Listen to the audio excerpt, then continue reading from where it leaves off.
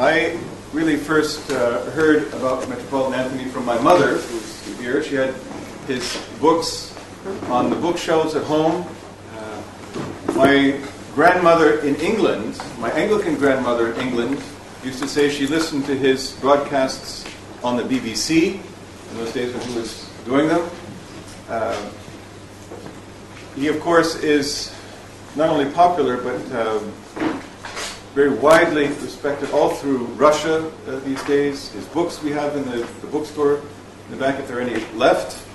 Um, so it's more than an honor. It's a tremendous uh, privilege that he is here and talking to us on the subject of prayer, and particularly the difficulties of prayer. Uh, Bolton Anthony.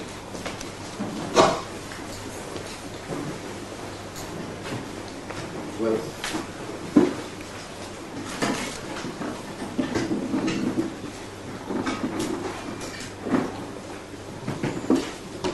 one or two preparatory remarks.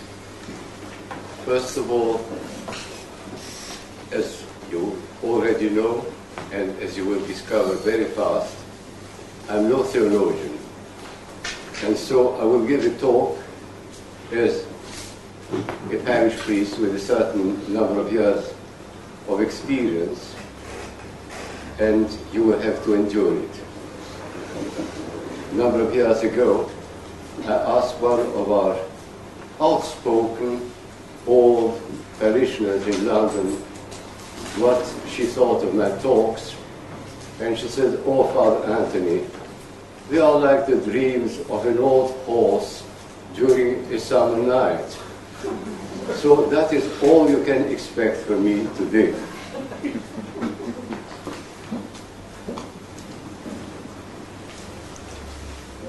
On the, second thing I would like to say is that I'm not going to try and give a learned talk, but say the things which I would say to ordinary parishioners and ordinary people about prayer. And the last thing, you are protected by my timer here that will ring after 45 minutes and make me silent.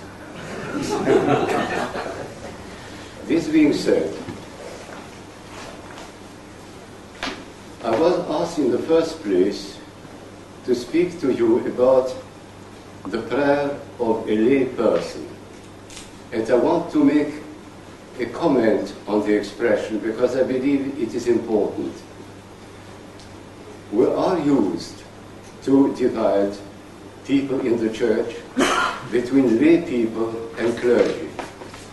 And this is a very unfortunate distinction. In Russian, it's even worse because Mirianin speaks of being a person that belongs to the world as distinct from a person that belongs to the church or the kingdom. If you turn the writings of St. Paul and of the Fathers, you will discover quite easily that to be a layman means to be a member of the laos, the people of God. And in that sense, whether you are a member of the clergy or whether you are uh, a member of the congregation, you are on the same terms as far as God is concerned. We are all God's own people with different positions, different gifts, different, different functions. But basically, we are one and the same.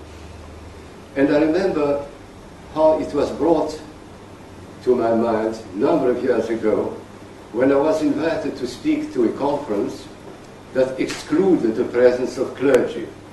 And when I expressed my surprise, I was told, you will understand later. I was introduced by the chairman who said, Father Anthony is a layman of the Orthodox Church in Episcopal orders. I think it was a very good, apt theological statement. because we are all members of the laos of God's people. And within this membership, we have different functions. As far as our prayer life is concerned, a member of the clergy has got one peculiar space which is his the celebration of the sacraments. And even then, it is not he who is the celebrant, but the Lord Jesus Christ himself and the Holy Spirit. He makes visible and audible what invisibly and inaudibly is accomplished by the power of God himself. And in that sense, he merges into the laos that fills the church. He is at one, only that he proclaims the aloud, in gesture and in word, what invisibly is performed by God himself. So that what I would have to say about prayer applies to clergy and to lay people exactly in the same way if you leave aside the particular role of the clergy in the sacramental life.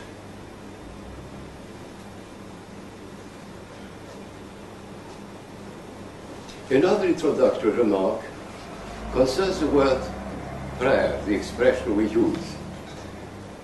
We use the word prayer in a way which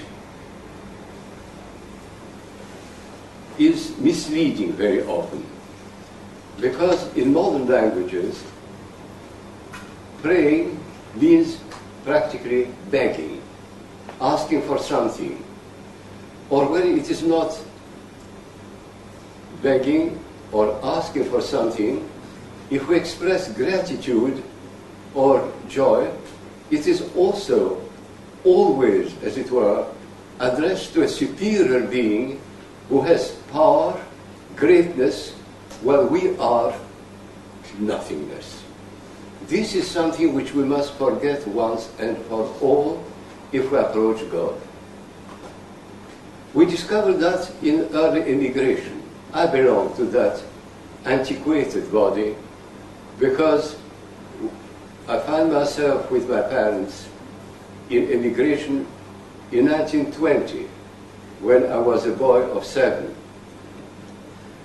And in that generation, the generation of my parents and my own, we discovered something about the Lord Jesus Christ which one practically not perceived before where we went, we were in Russia.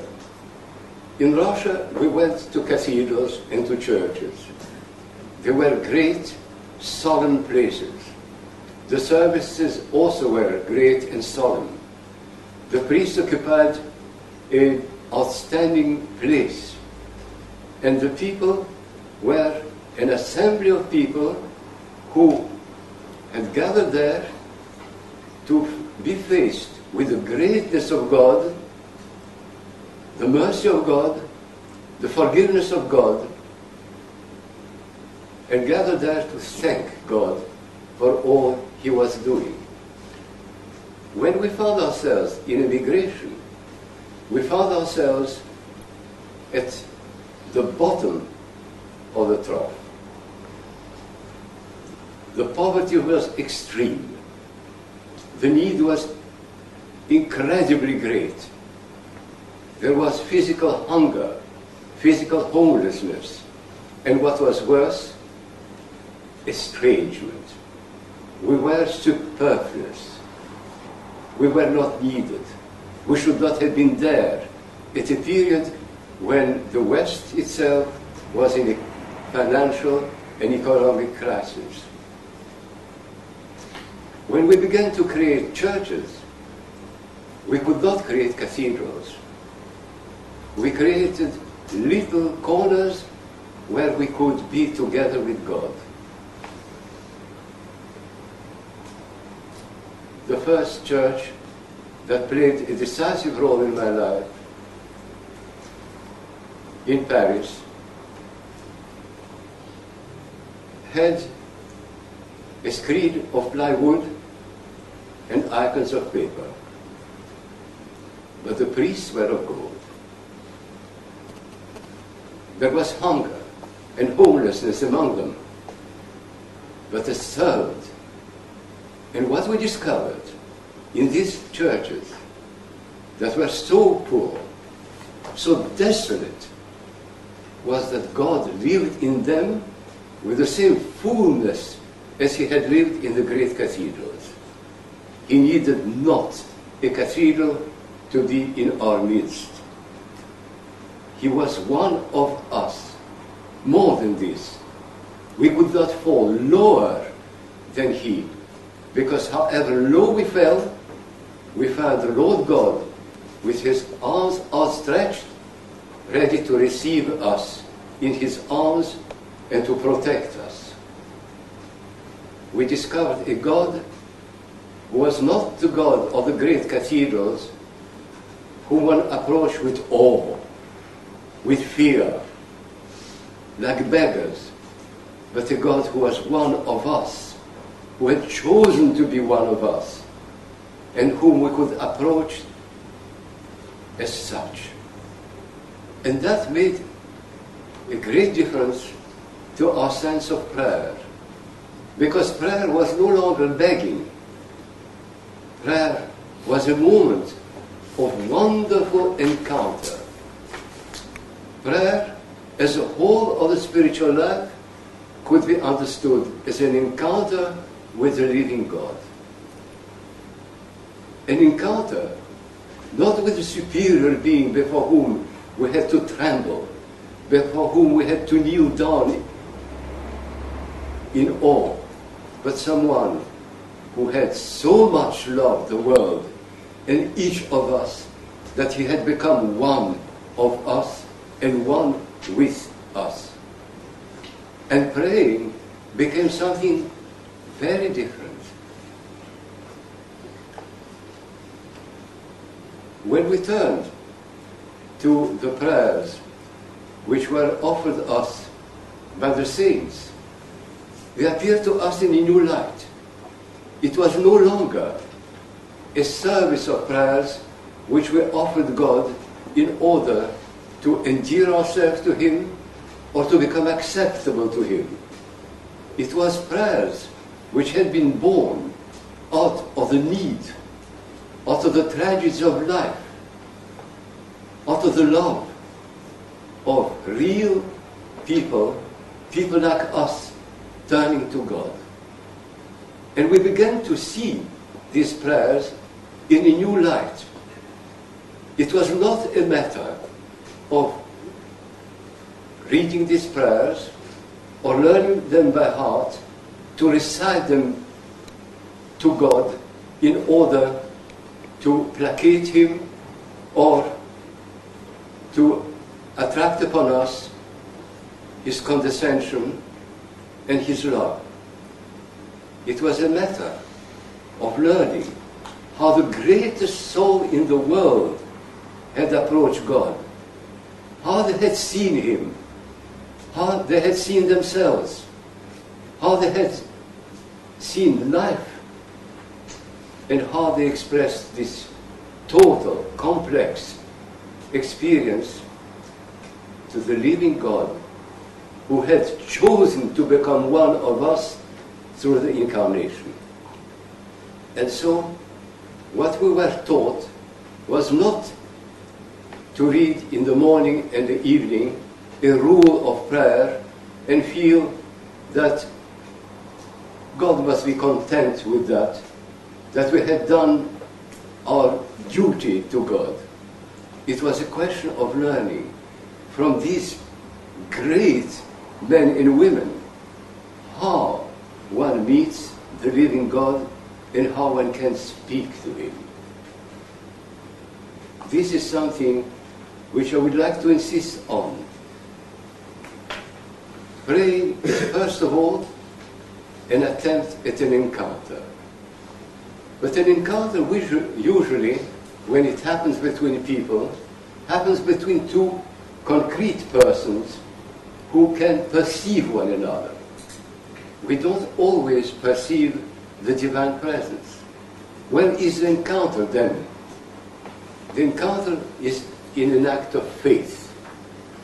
And what I would suggest is that, before any one of us says a word of prayer, we take our stand alone. We can stand or sit or lie. That does not matter. Because God, as St. Ambrosio of Optina says, does not look at the legs of people but at heart. Take our stand before God and say to Him, Lord, in your humility, in your love for mankind, your readiness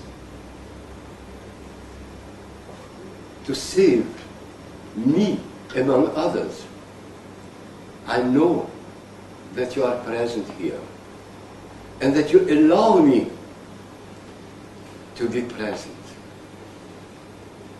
I may not perceive this presence, but I know it in an act of faith. You are here, and I do not know whether I deserve any sign of your presence, but you are here, and you allow me to be here with you. And then keep quiet, silent, immobile, knowing that you are in God's presence.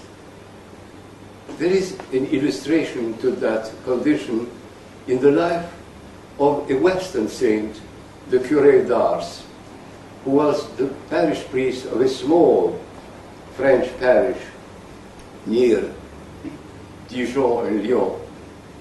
He used to go to his chapel and found there an old man sitting hour after hour. And one day he said, Granddad, what are you doing here? You sit here, you are looking straight ahead, your lips do not move in prayer, your fingers do not run along your rosary. What are you actually doing? And the old man answered, I look at him, he looks at me, and we are happy together.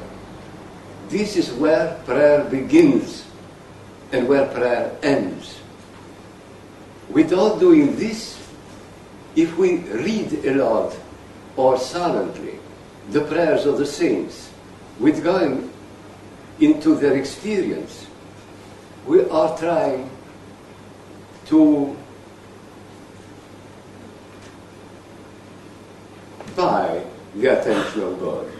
I will offer you so many prayers, so many accomplished, so many other prayers, and in response you will have to do something for me. I remember many years ago, I lived under a very strict rule of prayer. And one day I went to my spiritual father and he said to me, do you pray a great deal? And I was praying a great deal, and I said so. And what happens if you come, you come back from work so exhausted that you cannot pay attention to the words of prayer and collapse with tiredness and have to go to bed without finishing your rule? What do you feel? Are you feel do you feel safe? I said, well, I feel uneasy. I said, so, you think that by offering to God so many prayers that gushed out of the hearts of saints like blood out of the wound, you buy his attention, you buy his concern. You say to him, I'll give you these prayers which others spoke from the heart only with my lips, and you will be content and you must look after me. I said, I'm afraid yes. Well, I forbid you for a year to pray. You make a sign of the cross before going to bed and say the prayers of those who love me, Lord, save me.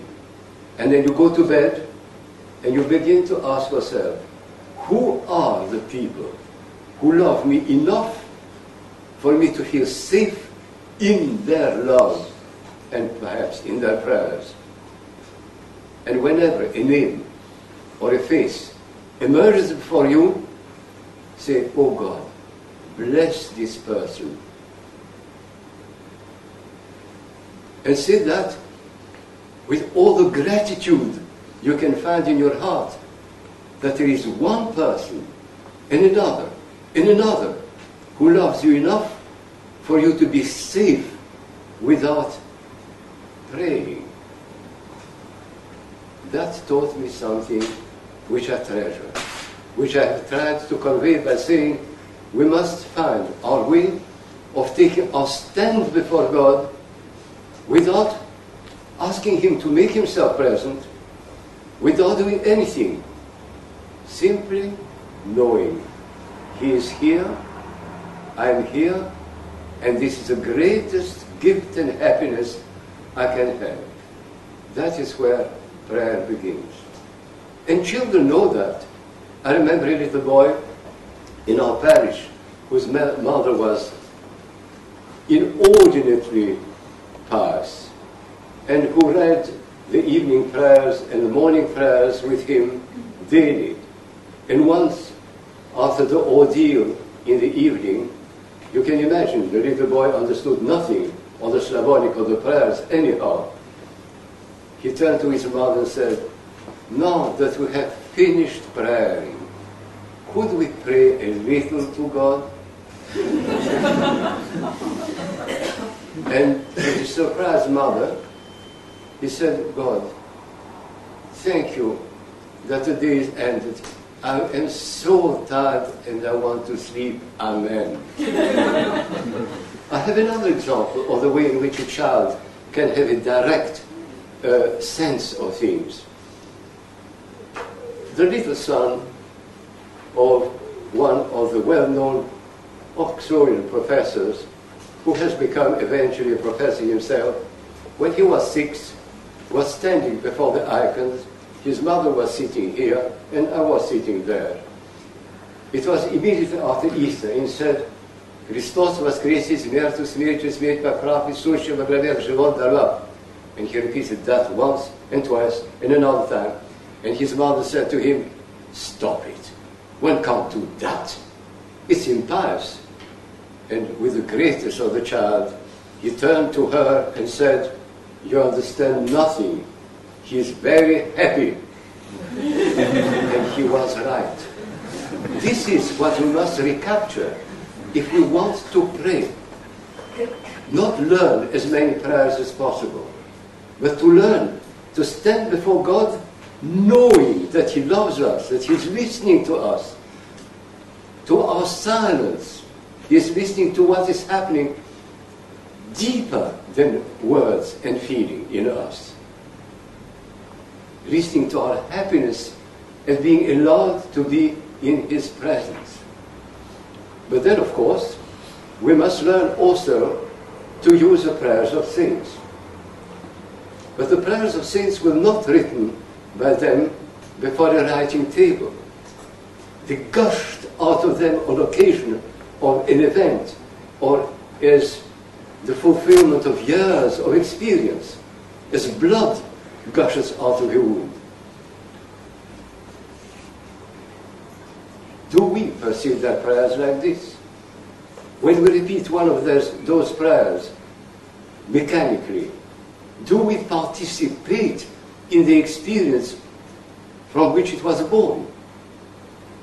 Not always to be optimistic, hardly ever to be true. What we must learn is to treat these prayers as an encounter with the spiritual experience of another person who shares it with us. If we take a prayer of any of the saints, the evening prayers, the morning prayers, any other prayer, they speak of a moment when a saint had a direct sense of the presence of God and wanted to tell him something that was true and mattered. Let us take one of these prayers and ask ourselves. First of all, have I any sense that I'm in God's presence? Or the invisible presence of God? And then, what can I say to Him? I can recite this prayer.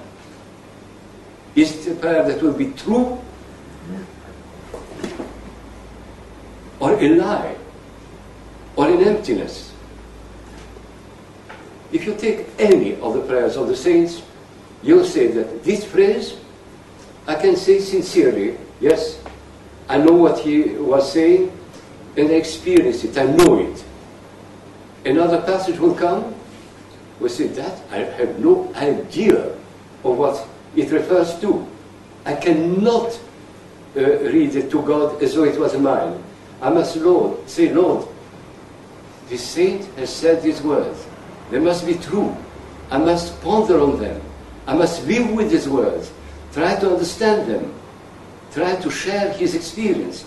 And only then shall I be able to be honest and frank in my addressing you.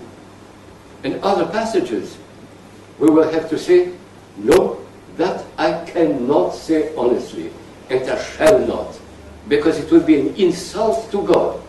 And I'll give you a couple of examples which are not to my honor at all. When I was a young man, teenager, I quarreled with a close friend of mine. I felt the quarrel was the end. Never shall I make my peace with him. I went to my spiritual father and said, I have a problem. I said it in rather lightly, but was expected from him a solution. I have a problem. When I come in the Lord's Prayer to the words, forgive as I forgive, I have a difficulty. Because shall I add, and yet, never, never shall I forgive Kirill. Father Afanasi looked at me candidly out of his wisdom and said, There is no problem. When you come to this passage, you say, Lord, don't forgive me because I shall never forgive Kirill. I said, But I can't do that. I want to be forgiven. He shrugged his shoulders and said, You can't do otherwise. Goodbye. I went home and reached the moment when I had to read the Lord's Prayer. When I came to this passage, I could not ask God to pile up burning coals on my head. So I stopped and I went back to Father Afanasi. Explained. He said, What? Very simple. You jump over this passage. I tried to jump. It didn't work. Because I wanted to be forgiven. I didn't want to show how beautifully and artistically I could jump. I returned again. And as he said to me, all right, would you feel now sorry enough for your condition, your condition, to say to God, forgive me to the extent to, the, to which I wish I could forgive Kirill. I said, yes, that I can do. And I did that over a period. Then it became easier. And it ended after half a year. You see, the hardness of my heart. In my being able to say, forgive as I forgive. And we made peace together. So you see that there is in each prayer a challenge. And you have no right to recite it for God's uh, pleasure. It's very important. Never say to God anything which are untrue because he rejects it, he cannot accept it. But then there are occasions when your faith is even, I wouldn't say worse than what I said, but as bad. Another example out of my life. So you see, uh, I'm no example of prayerful virtue. A moment came when we lived in London many years ago with my mother and grandmother, then our house were infested with mice. They ran about everything. We didn't know what to do because we did not want to put mouse traps because we felt sorry for the mice. But we were afraid of throwing around little piece of bread with um, poison because we were afraid for my grandmother, who was in her 90s, would see a little piece of bread, collect it, eat it. And I didn't know how close her health was to that of a mouse. And then I remembered that in the big Trebnik, the big book of prayers, there is an admonition written by one of the saints of all, addressed to all the nuisance of the world. It begins with lions and tigers, in, um, ends with insects, and en route you meet a variety of animals. Among them, mice. I looked at that and thought, I can't believe that a mouse will listen to an admonition. But who knows? This saint wasn't a fool, he wasn't a comedian, he must be knowing, uh, have been knowing what he was doing. So I thought, I'll try. I put my stole on, sat on my bed, put the big book on my knees, and waited. And a mouse, yes, and I had a word with the saint. I said, look, I don't believe in a word of this admonition. I don't believe that any mouse or tiger or elephant or um, insect would ever understand what you say or do it. But if you believe in that, I will say the words in the Master's hearing, and you will bring the prayer into God's hearing. So I will have nothing to do in, with it except reading the prayer. The act of faith will belong to the mouse, and the prayer will belong to you. And I said, and indeed, a little mouse came, trotty trotty, out of the fireplace. I made the sign of the cross on it and said, sit still and listen. And the first miracle occurred. It sat up like this, whiskers moving, and didn't budge.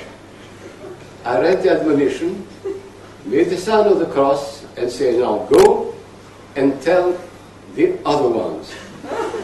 It fell in its fall, disappeared in the fireplace, and all the mice disappeared. Well, I'm telling you this story because it says nothing complimentary about my faith.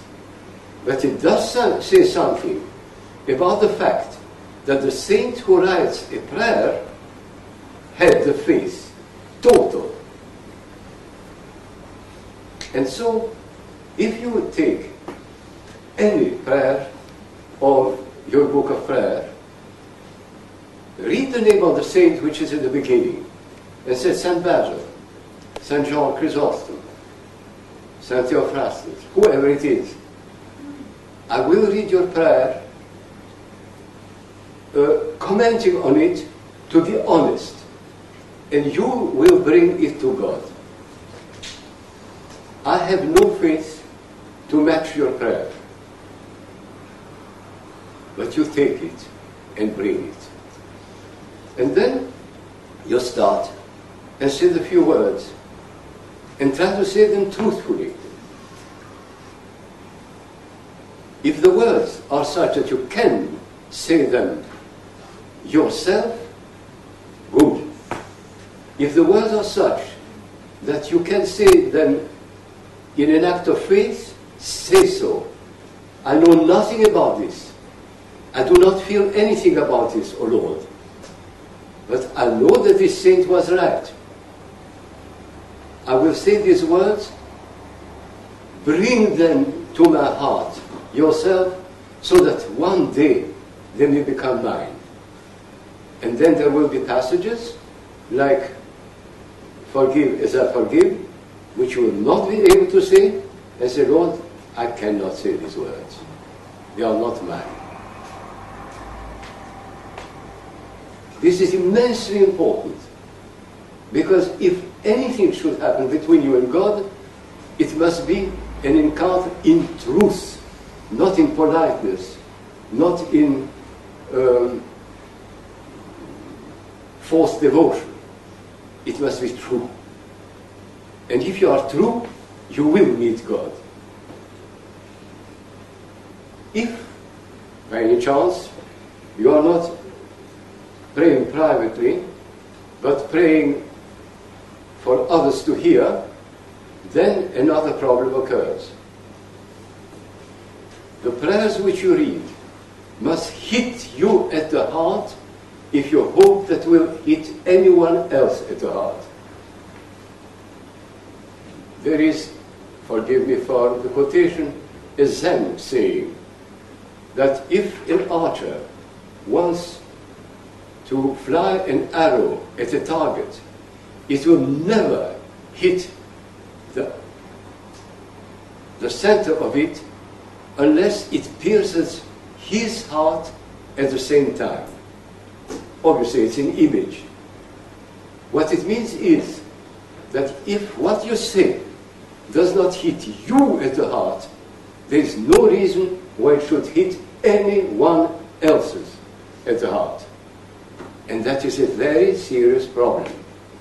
Because when you read these prayers aloud, there is first all the problem which I have tried to indicate first about you receiving the message and responding.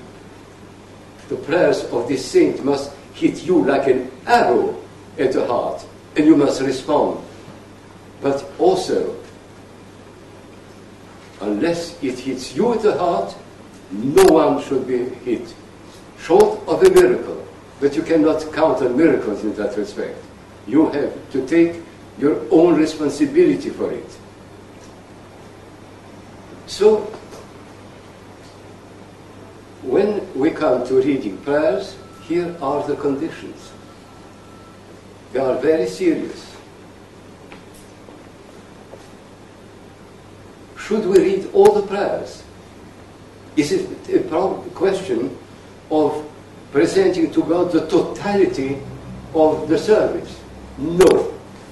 What God wants is your heart. Child, give me your heart.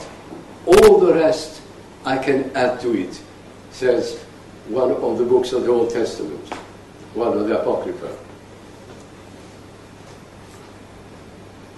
It is essential to remember that.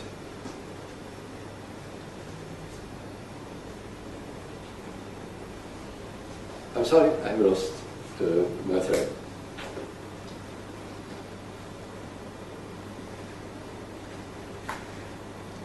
Anyhow,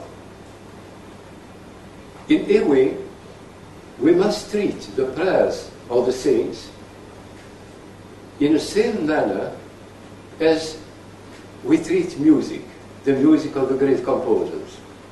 If you think of the way in which music is born, there is a revelation of beauty that reaches the composer.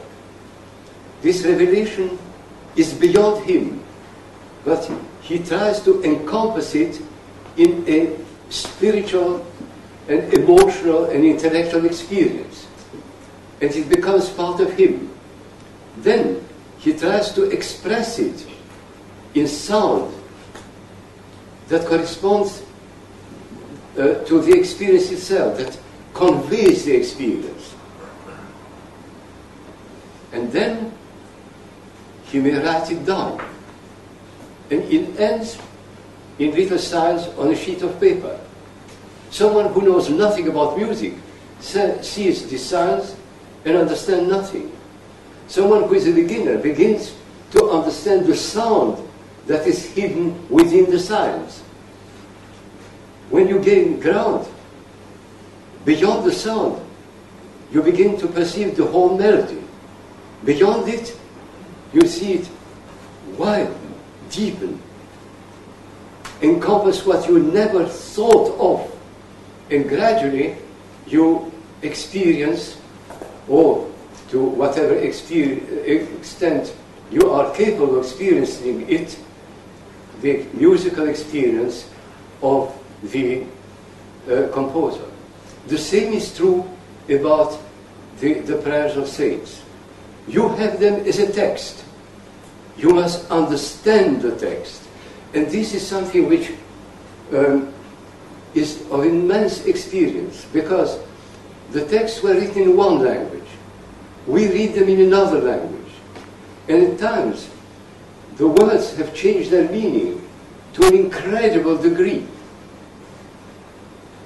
Lord, have mercy. Lord, have mercy is a begging cry.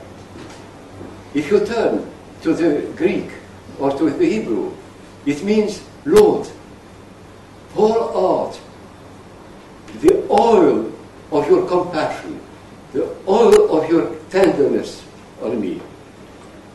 Lord, have mercy means, Lord, pour out on me your love and tenderness.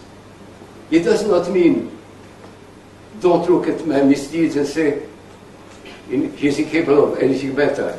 Let me forgive him. No. We expect love. And we must respond by love.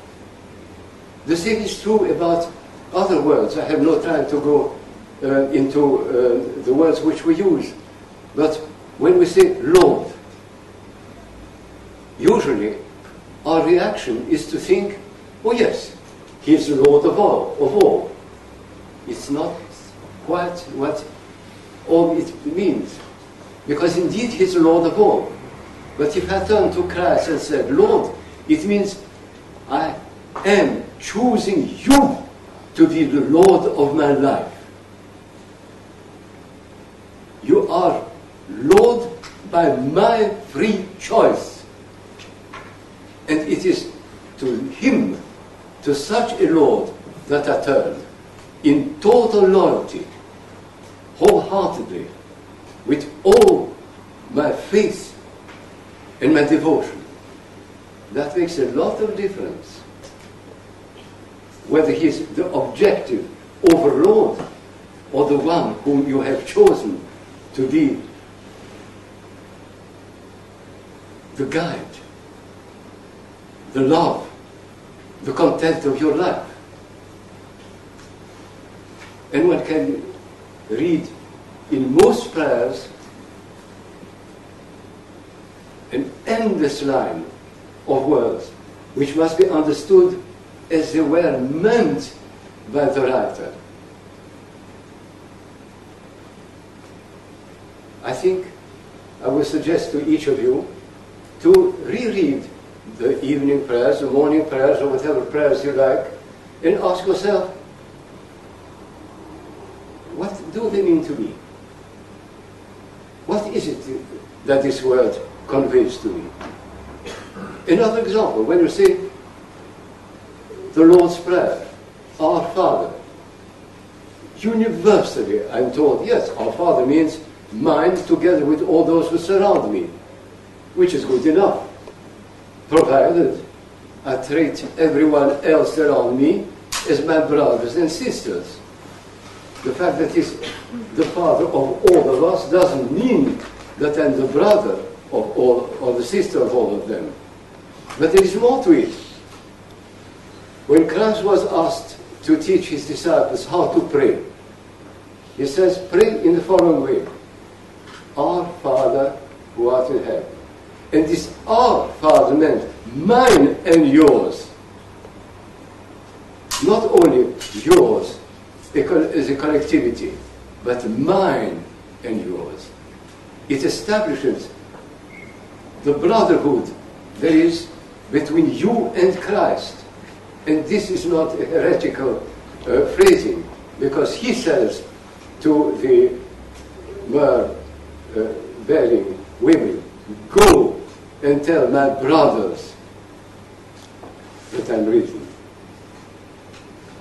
Yes, when we say our Father, we must think that I accept everyone else as my brother and sister.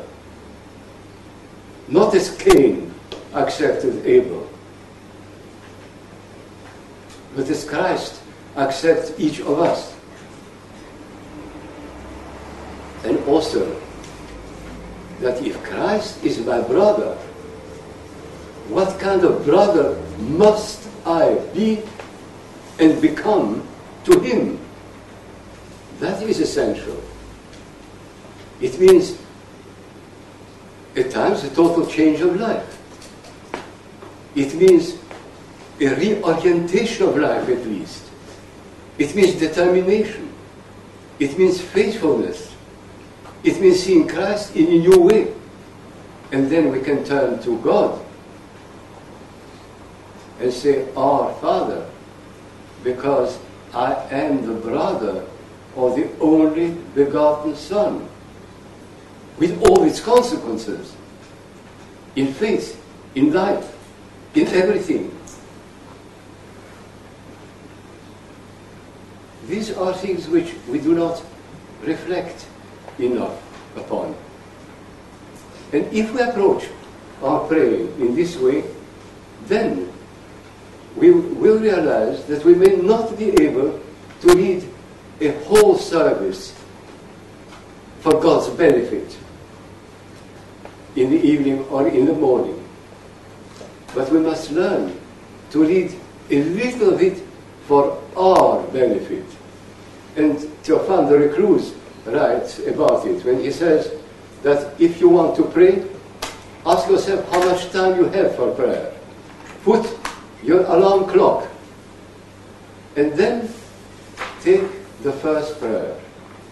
If on the second line you are hit at the heart by what it says, stay with it. Stay with it. Repeat these words. Dwell on them.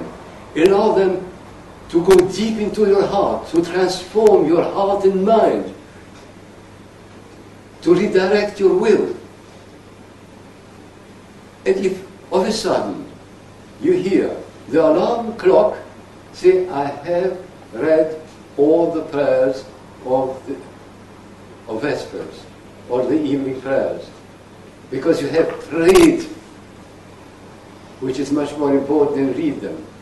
God has heard them millions of times coming from people who shouted them out of agony, out of joy. It's not that that interests him. May I uh, sp- speak a little longer than my 45 minutes? Two days. Well, um, this is practical uh, advice I'm trying to give you. And I believe that if we learn to pray that way, in the end, the prayers of the saints will hit and pierce our heart as music can hit our heart, as a personal emotion, a bereavement, a joy can hit us at the heart. And if we do this, then praying becomes true. Well, very often it's an act of politeness or a lie. Or an act of slavish obedience. But to do that, we must, as Théophane de Reclus advises us to do, we must be prepared, apart from moments when we pray, to dwell on these prayers, to take one prayer and ask ourselves questions. What do these words mean? What does mercy mean? What means my brother mean? What mean all the words which I'm going to say? Ask oneself what they mean in themselves. What they mean for me within my experience. What they meant in the experience of the saint, judging by the context. And then gradually we can grow into being able to say these prayers as though they were ours. Perhaps not at the scale of the saint, on a smaller scale, but on a total scale. A triangle may be small or immensely big. It remains a triangle. If this, my prayer is like a small triangle, it is an image of the great one. if my prayer is true, but as small as I am, it is capable of growing through truth, through experience, to towards at least the experience of the saint who wrote it. I think I will end my talk at this point. I apologize for the three minutes I have stolen from you. and um, I am now in the hands of superior authority.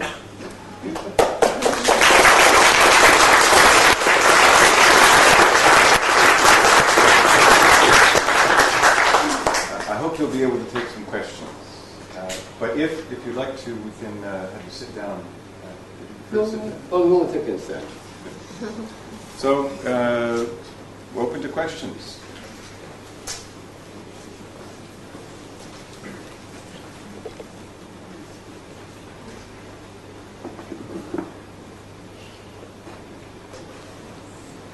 Philippe? I'm quite surprised you, you choose Could you music. Speak louder because I'm old and won't hear. Perhaps you could, everybody could, you could stand up and ask the question. I'm quite surprised that you mention music as a, as a way of explaining how prayers and how to pray. Because uh, when I met you 26 years or 27 years ago, I told you I, I you like chanting in the church, and, and because I like chanting, and you said if if heaven is full of chanting, I'll ask God not to take me into heaven because I I don't like chanting at all. Have you changed your mind or not yet? I'm not a musical person as far as the great right, uh, works of composers is concerned, because I have not been brought up uh, within this experience. But I do perceive, if I may put it that way, the musical words. I know the difference between reciting a psalm like a mechanic and reciting a psalm from the heart. It does not mean uh, elocution. It means that something goes into the words.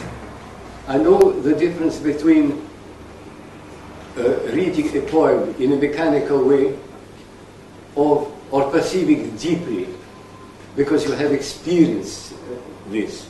And I extrapolated on music um, from what I have read and heard. But I think the analogy remains true in spite of the fact that I'm so desperately obtuse. Brother Anthony? Your Eminence, will there be prayer in heaven?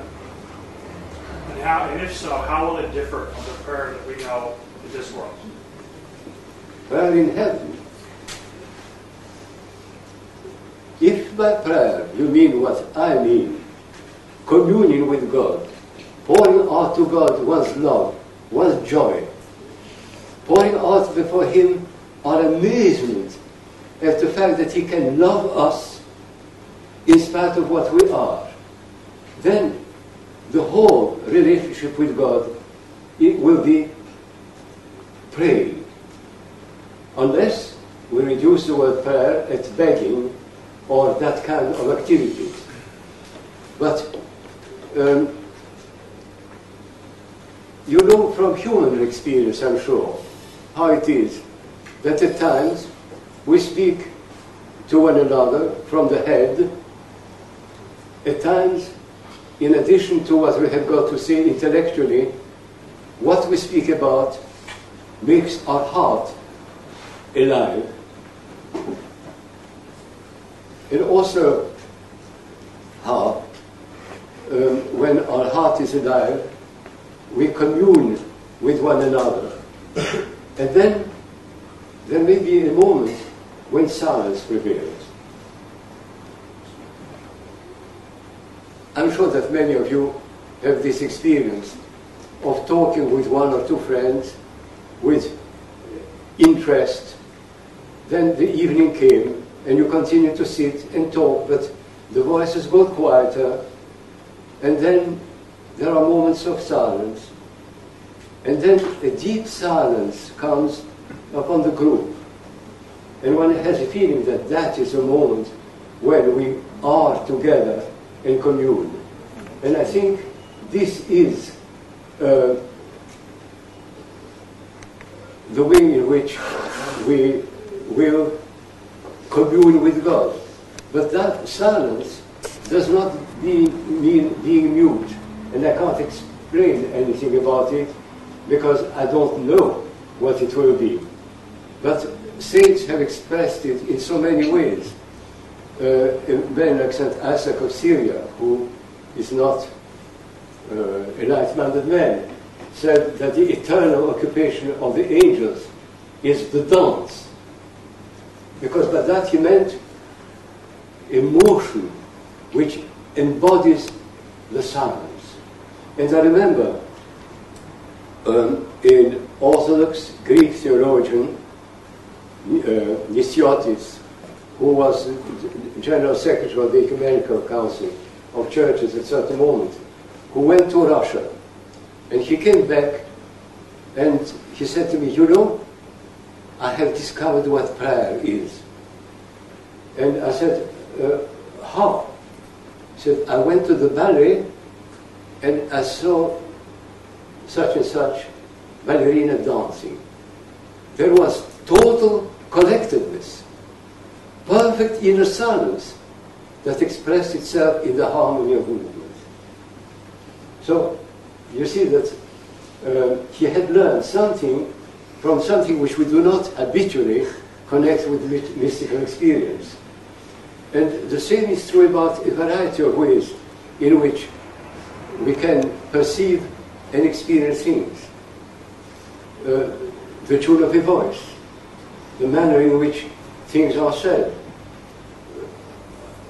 I love Russian uh, poetry, and I know the difference between someone reciting a poem and someone receiving it in his heart.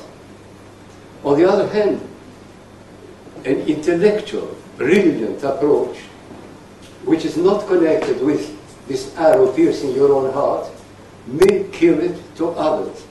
I remember many years ago um, when people like Father Alexander Schmemann and Father John Meyendorff were still little crawlers. um, Professor Zander asked um, a very well-known preacher in Paris to give a lesson to the Sunday school. The leaders were seated all around, the children were in the middle, and Father gave his talk. It was absolutely entrancing. I was one of the leaders, so I do remember.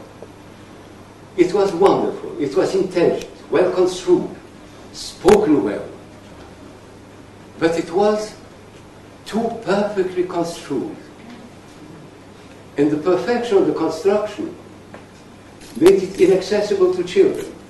Because when after the talk, Professor Zander called a little boy of seven and said, Well, little boy, how did you like the talk you have heard? The little boy said, Entertaining. Pity that father doesn't believe a word of what he says. and it was rigorously untrue because he was one of the most wonderful priests we had in Paris. But he had uh, turned into an intellectual statement that was miles above the understanding of the children, something that was an inner experience he possessed. And that is what I mean by the music of words or the choice of words, the construction of things. Yes. Um,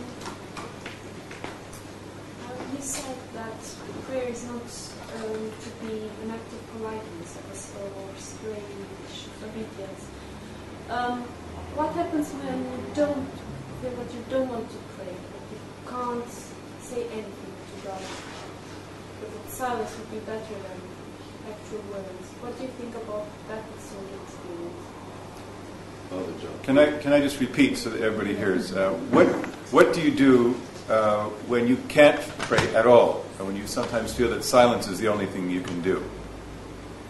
What do, what do you do when you, you can't feel anything at all and uh, don't have anything to pray?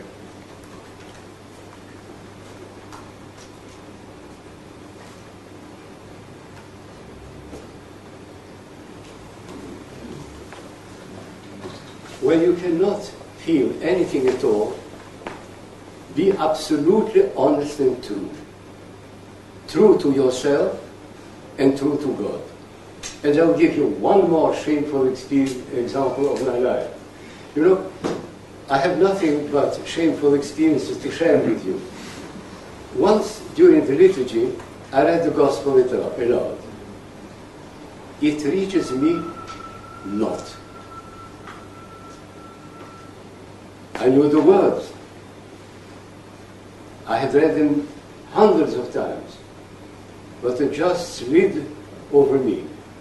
And then I thought, what can I do about preaching? I'm supposed to preach on this gospel. What can I do? It has not reached me. And I came out and said, Today, Christ has been speaking personally to me in the gospel. All I could say to him is, I'm not interested, and what you say is irrelevant. And therefore, I cannot preach a sermon to you. But I will address myself to you and say, Did it happen ever to you when the, you read the gospel at home, when you read the prayer, when you heard the gospel in church? Did it ever happen that you heard it and said, Oh, yes, yes, I've heard that hundreds of times? And if it's true, feel what I feel horror at the thought that Christ was standing here in the form of the gospel, speaking to me personally, to me alone, because Christ speaks to each of us alone when the gospel is read, not to a crowd. And I could say only, it is irrelevant. You could have kept silent, it would not have made any difference. Ask yourself, so we may not feel anything, but then you must be true and say so.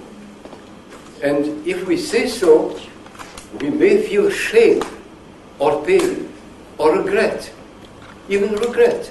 I'm sorry, it didn't reach me. But this is still truth related to God. George. Uh, Sorry.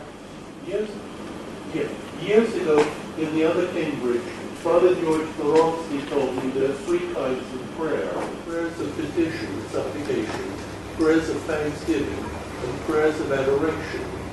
It seems to me, however, that these are not sharply uh, divided from each other because each would contain elements of the other two. Uh, am I wrong? You are certainly not wrong because you have as your background Father George Florovsky anyhow. but George, you are right even in your own right. Um,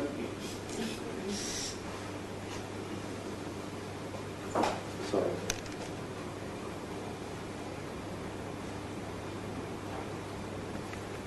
These different prayers have their values and their significance, which is very definite in the context in which we are. Because we are not yet in heaven.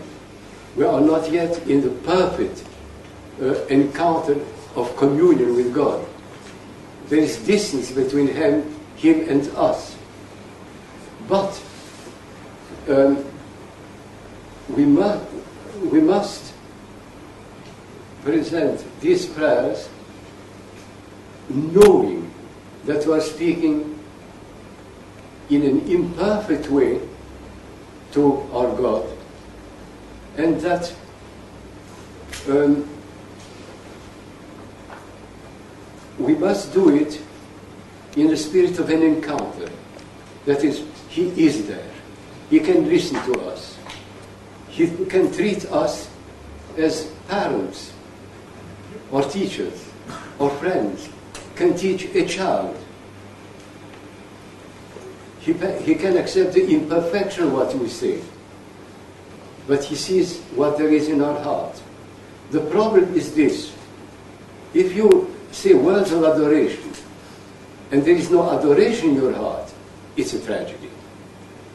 If you uh, says words of repentance and there is only an objective knowledge that I have been wrong but I feel nothing about it, it's tragic.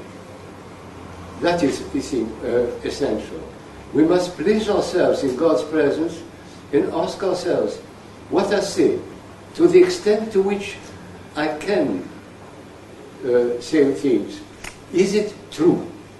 Am I being true to myself and to God?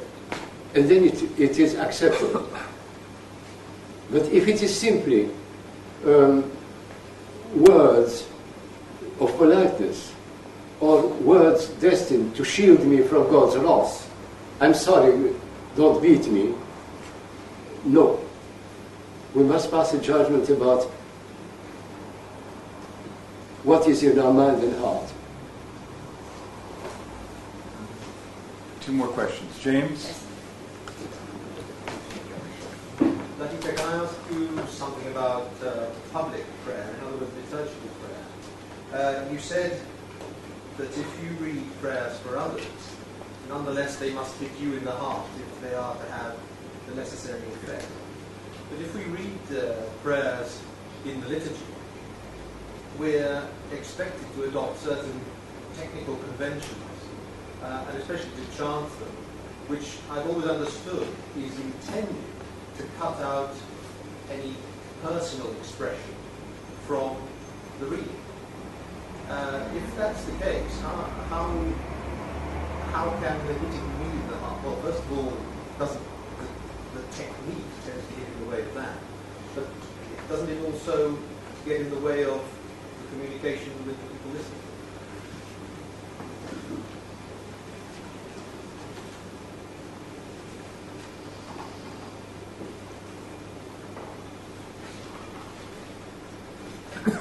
If we read or sing prayers, there are two ways in which they affect us and others.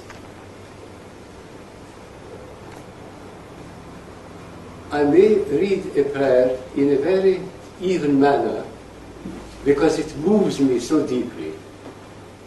I may read it with pathos, although it doesn't move me very much. I may sing, or if I'm a deacon or a priest, read a prayer almost emotionally with the hope that it will create emotion in others. That is a mistake. What we must do is to read or sing the prayer in all honesty. That is, speak to God and not for the benefit of anyone listening to it. Speak to God. Whatever tune we use, if we speak to God from within ourselves, people will perceive it. If we are artistic in our praying, they may appreciate our art, but they may not reach the prayer. I remember a priest in France who had been um, a Cossack in the cavalry, and he took things with a sword. For him, the words were the words. And I remember the first time he celebrated, he blessed the holy gifts. and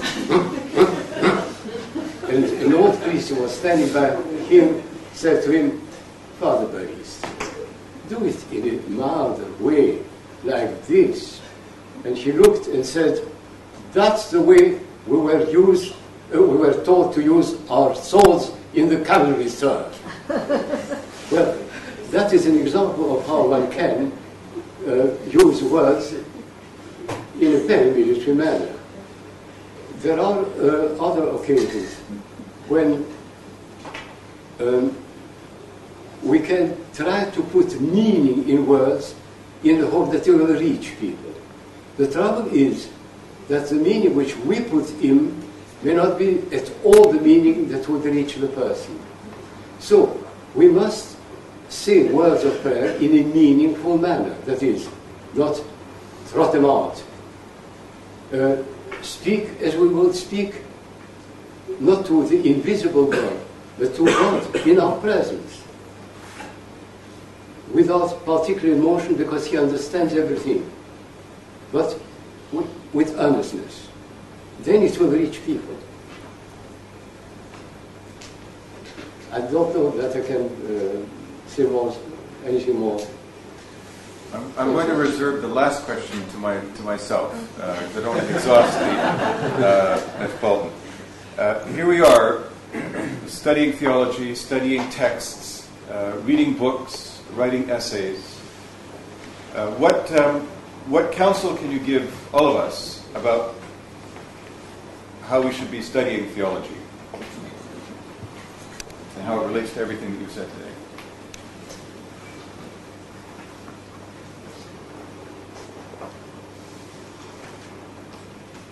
It's a question which I hardly can answer, having never studied theology and knowing nothing about it.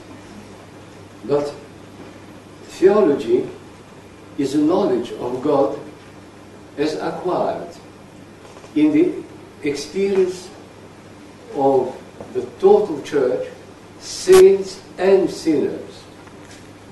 Because there are sinners who know God very deeply while people who are more virtuous they are, don't.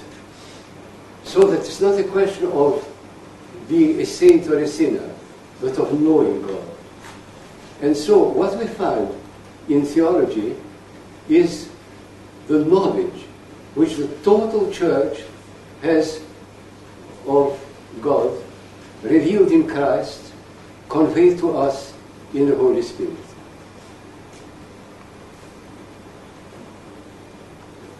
That means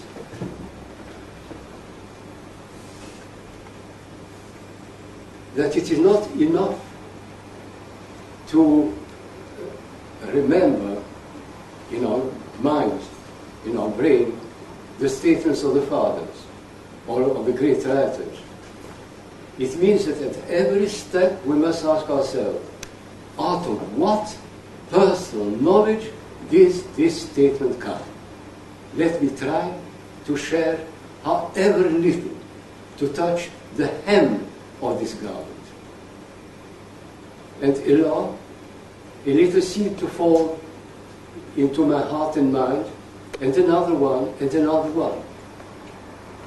If you want to pass exams, of course you must know what such and such spiritual writer wrote but that does not imply that you are expected by the examiner to uh, have experienced it all yourself. It means that you have been confronted with it, that you have tried to take it in intellectually, that you have struggled with its meaning in your heart, tried when it offers itself for it to implement it in your life, and you state what you know about it. I don't think I can say anything more. Vladika, thank you very, very much for being uh, here and giving of your of yourself and your experience.